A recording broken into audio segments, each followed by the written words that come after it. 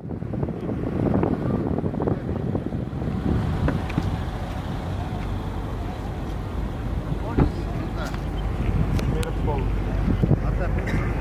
s te strane. Ne, mi idemo drugim autima, ne, možemo da se smestiti. A di su, bro, još čekali? A ulazu. Tamo gdje smo prvi dan bili, okej.